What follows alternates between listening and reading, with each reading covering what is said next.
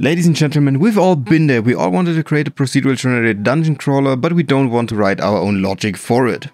We all want to focus on the main and important parts about our character controller and the enemies. So what can we do to avoid this problem of writing code for the procedural generation? First of all, we're gonna open the Unity Asset Store and we search for Fimpossible Creations procedural generated Grid Beta. As the name of the asset already says, this is currently in beta and it's 50% less than when the pack fully releases. But what actually is procedural generated grid from Fimpossible Creations? Let's have a small little look. With Fimpossible Creations you can easily create a procedural generated grid system, so you can build your own little rooms or even houses or hotels, more story buildings, whatever you want. And you're not only limited to buildings and stuff, you can also create complete cities with it, which is pretty amazing to be honest. Also every component is accessible through scripting so you can adjust things on the fly or generate complete new layouts while your user is playing the game. But with this accessibility, is there some downsides? Yes, of course, there are downsides at the moment because it's only a beta. You don't have a good reference point, so there's no documentation or not a good documentation. He provides some cool little tutorials on his YouTube channel, but that's basically it. With all the rules you can adjust on the modification thingy, it's getting really overwhelming after some time if you don't know what they do. It's a lot of trial and error to be honest. But most things should be easy to understand if you know some basic coding, so it's more like a visual coding stuff inside of the Fimpossible Creations procedural generated grid. So something like scale should be easy to understand if you know how to adjust scale in the X, Y and Z position or space. Things like a tag system is also provided, which also reminds you of like the normal coding stuff, so this should be easy as well. But there are some rules that are more specific. And with those I mean his quick solutions. Most of the quick solutions make sense according to the name, but some of them are kinda strange and I don't know how to use them properly, so I just use them when I think they make sense or anything. But how do you use the Fimpossible creation on your own? So let's take a little swap, let's go to Unity and check this out. Here we are now in Unity, so let's actually check out the Fimpossible creations. So we go to window of Impossible Creations, Level Design and Grid Field Designer. We can actually just pin this up there because we need this more often. So we want to create a new field designer. Let's go to create new and let's say this is our office field because I'm using the syntax polygon office pack, whatever it's called, name on display.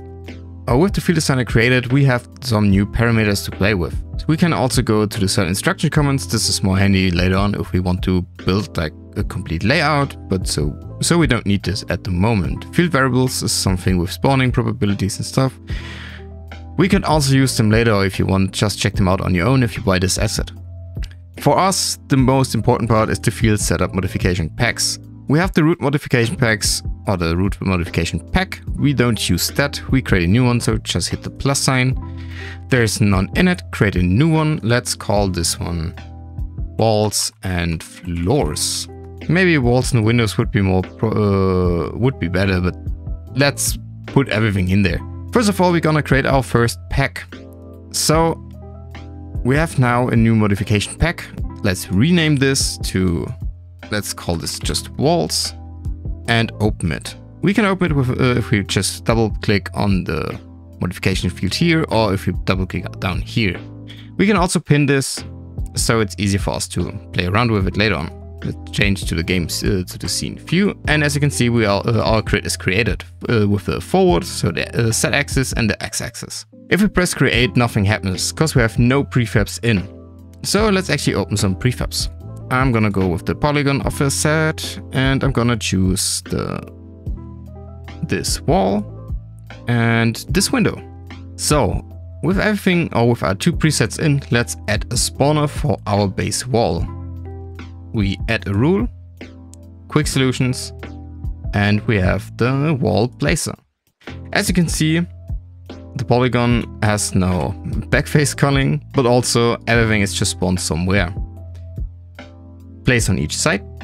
So now the middle part is free and everything is set, but everything is overlapping as well. So let's adjust the direct arcs offset. So minus one on the Z axis and one on the X, and it's still overlapping a little bit. So add another rule, we go with the search one, search for the scale option. And I think it's 0.8 the last time I checked it. Yep, it's 0.8 on the x-axis and everything is set. Everything looks nice, everything fits inside of the little squares for our grid system. To actually get now the windows in as well, we add another spawner, let's say for the windows, and we give our walls a tag called wall. Now go to the windows, give this one a tag window, and as you can see everything is placed somewhere random. So add another rule, oh wait, add rule, quick solutions, get coordinates, and we want to get the co coordinates from the walls.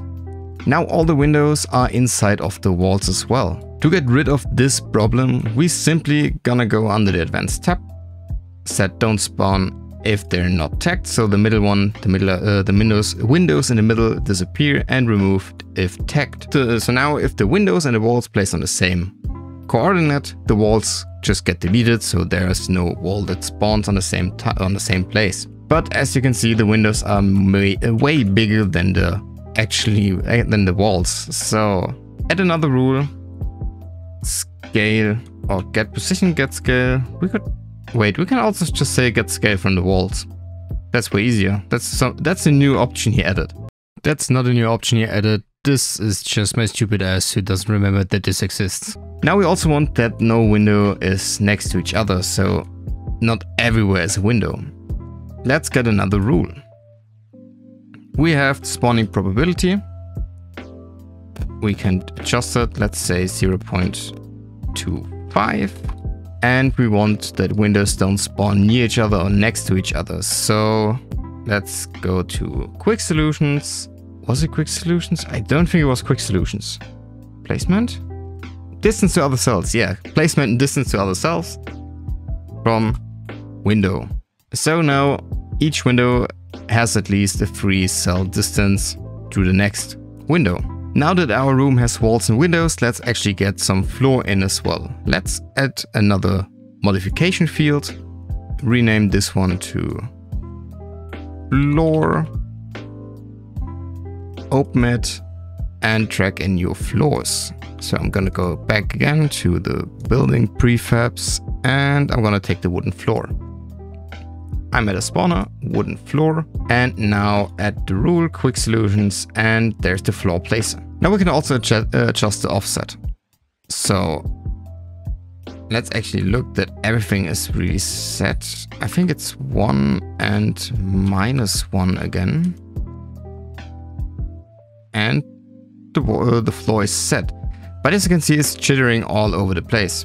So add another rule.